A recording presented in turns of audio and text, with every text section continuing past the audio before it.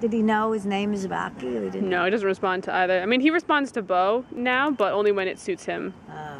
He's kind of one of those like, yeah, I understand what you want, but I don't really have to. So, unless you have food, Yeah, you got. I Probably know. not. Bruno's the same way. We we we Get try. him, Bruno. Bruno, you I'll the drive poodle. place.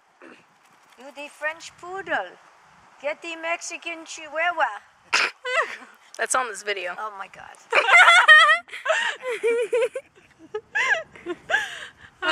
That's gonna go viral on YouTube tomorrow. the Mexican Chihuahua.